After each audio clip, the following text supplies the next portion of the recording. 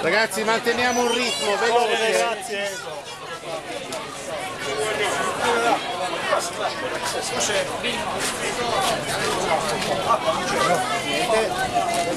Grazie.